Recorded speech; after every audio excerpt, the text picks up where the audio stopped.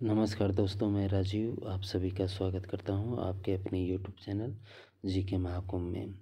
दोस्तों, आज 19 जनवरी है।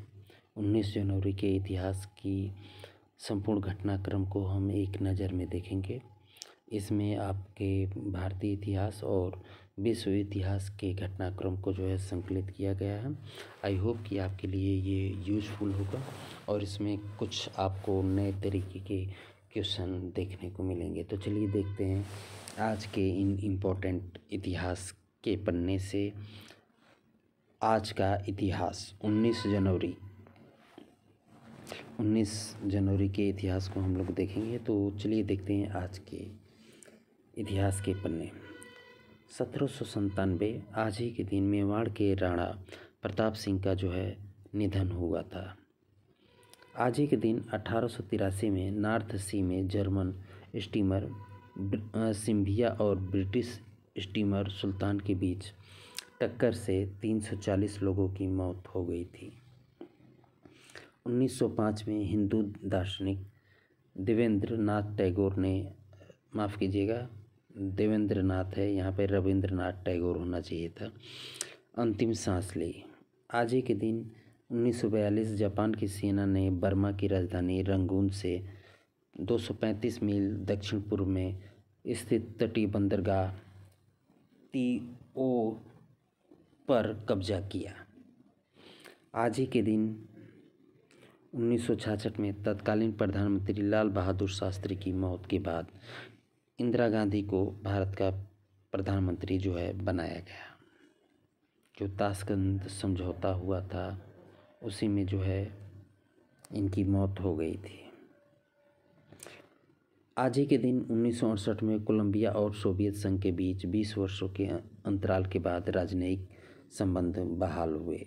आज ही के दिन 1979 में दक्षिण कोरिया के राष्ट्रपति पार्क जुंग ही ने उत्तर कोरिया के साथ एकीकरण और युद्ध टालने जैसे विषयों पर बातचीत की, पेशकश की। आज ही के दिन उन्नीस सौ सतासी में नारायण दत्त ओझा ने रात के दस बजे उच्चतम न्यायालय के न्यायाधीश के रूप में शपथ ली और दो घंटे बाद ही रिटायर हो गए।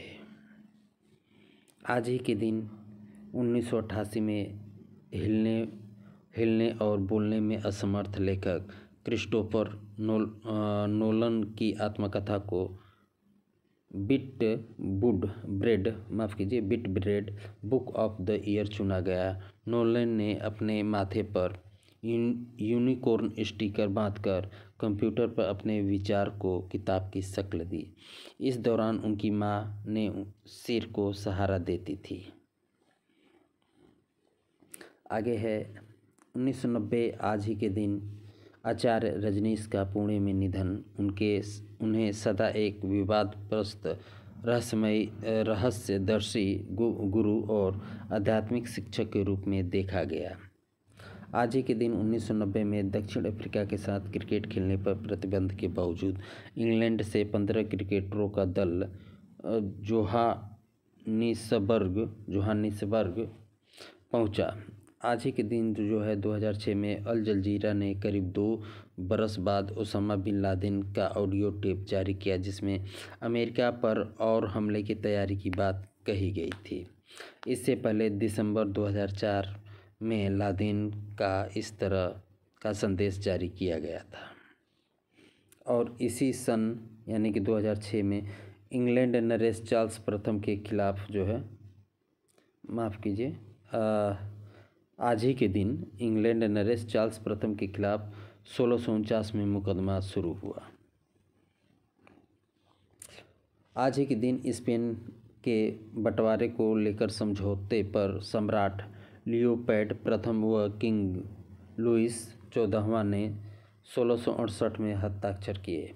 आज ही के दिन फ्रांसीसी फौज ने हालैंड को सत्रह सौ पंचानवे में तबाह किया। आज ही के दिन स्पेन ने बेलिंगटन के ड्यूक के नेतृत्व में 1812 में कई महत्वपूर्ण शहरों पर कब्जा किया। आज के दिन यमन के शहर अदम को अठारह सौ उनतालीस में जीत ब्रिटिश ईस्ट इंडिया कंपनी ने लिया और आज के दिन बोलीविया बोलीविया तथा जर्मनी के वाणिज्यिक तथा दोस्ताना समझौता 1910 में समाप्त हुआ। बोलेविको ने पेड्रागाड, पेड्रोगाड स्थित संविधान सभा को 1918 में भंग कर दिया। आज के दिन फ्रांस में अलेक्जेंडर मिलरैंड ने 1920 में सरकार का गठन किया। आज के दिन मध्य अमेरिकी देशों ग्वाटेमाला, अल सल्वाडोर, हुंडुस तथा कोस्टा रिका ने समझौते पर 1921 में हस्ताक्षर किए।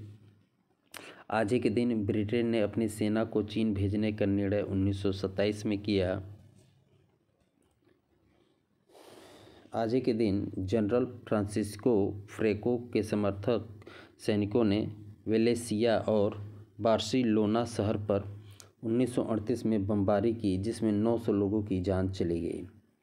आज ही के दिन अफ्रीकी देश सूडान के कसल कसलफ पर ब्रिटेन की सेना ने 1941 में कब्जा किया। आज ही के दिन 1942 में द्वितीय विश्व युद्ध के दौरान जापान ने बर्मा वर्तमान में म्यांमार कहा जाता है, जिसे पर कब्जा किया। आज ही के दिन इसराइल को उन्नीस सौ उनचास में कैरेबियाई देश क्यूबा को जो है मान्यता मिले। आज ही के दिन उन्नीस में अरब लीग का नौवां सदस्य सूडान बना। और आज ही के दिन जापान और अमेरिका के बीच 1960 में आपसी सुरक्षा समझौता हुआ। आज ही के दिन भारत के पहले प्रधानमंत्री जवाहरलाल नेहरू की इकलौती बेटी इंदिरा गांधी को उन्नीस सौ छियासठ में आज ही के दिन भारत का तीसरा प्रधानमंत्री जो है चुना गया। आज ही के दिन जो है हिमाचल प्रदेश में 1975 में भूकंप आया। आज ही के दिन जो है समुद्र तटों के लिए प्रसिद्ध अमेरिका के मियामी शहर में उन्नीस सौ सत्तावन में पहली बार बर्फ़ गिरी। आज ही के दिन ईरान तथा अमेरिकी के बीच उन्नीस सौ इक्यासी में हुए समझौते के तहत पचपन अमेरिकी बंधकों को रिहा किया गया। आज ही के दिन पहला कंप्यूटर वायरस सी ब्रेन उन्नीस सौ छियासी में सक्रिय किया गया। आज ही के दिन परिवहन विमानन पर हमले के बाद सराएवो सरायवो से लोगों को बाहर निकालने का काम उन्नीस सौ चौरानवे में राष्ट्रसंघ अधिकारियों ने स्थगित कर दिया। आज ही के दिन चेन्नैया के अलगावादी उन्नीस सौ पंचानवे में राष्ट्रपति भवन से भाग निकले और रूसी तोपखाने ने उसे नष्ट कर दिया। आज ही के दिन पाकिस्तान में भारतीय राजनयिक सुधीर व्यास को 2003 में प्रताड़ित किया गया।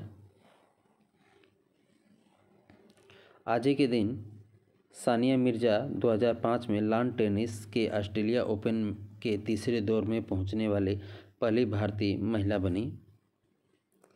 आज ही के दिन ओमान में सुल्तान Qaboos bin rice Said bin Taimur al Said को 2007 में जवाहर लाल नेहरू पुरस्कार प्रदान करने का फैसला किया गया। 2009 में सूर्य शेखर गांगुली ने सर्वनाथ शतरंज खिलाड़ी जीता। आज ही के दिन स्कॉटलैंड के गलेन कोए में 2013 में हुए हिमस्खलन में चार पर्वतारोहियों की मौत जो है, हो गई। तो दोस्तों, ये हमारी 19 जनवरी के इम्पोर्टेंट कुछ फैक्ट्स थे। आई होप कि आपको ये अच्छा लगा होगा। तो इसी तरीके की रोचक जानकारियों के साथ डे बाई डे आपको अपडेट करता रहूँगा। चैनल पे बने रहिए, साथ बनाए रहिए। बहुत बहुत धन्यवाद आप सभी का। नमस्कार।